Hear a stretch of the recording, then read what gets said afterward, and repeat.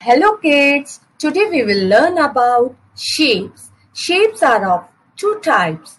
One is plane shapes and another one is solid shape. Let's learn about plane shapes. What are plane shapes? Plane shapes are closed and flat figures. Plane shapes are also called 2D shapes. 2D means two dimensions which are length and breadth. Some examples of plane shapes are square, rectangle, triangle and circle. Let's learn in the form of poetry. Sides are the straight lines that form shapes. Vertex at the corner that two lines make. Sing with me. Sides are the straight lines that form shapes. Vertex are the corner that two lines make.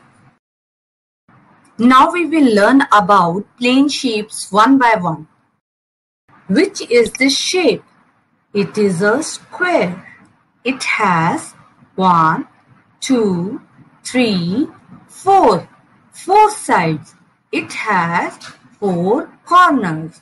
All sides of square are equal in length. Some examples of square are biscuit and window. Which is this shape? It is a rectangle. It has one, two, three, Four, four sides. It has four corners. Opposite sides of rectangle are equal in length.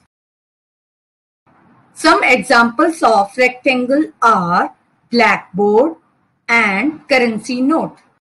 Which is this shape? It is a triangle. It has one, two and three. Three sides. It has three corners. Some examples of triangle are cloth hangers and pizza slice. Which is this shape? It is a circle. It has no side. It has no corner. Some examples of circle are coin and clock. So this was all about plane shapes. In next video, we will learn about solid shape. Thanks for watching.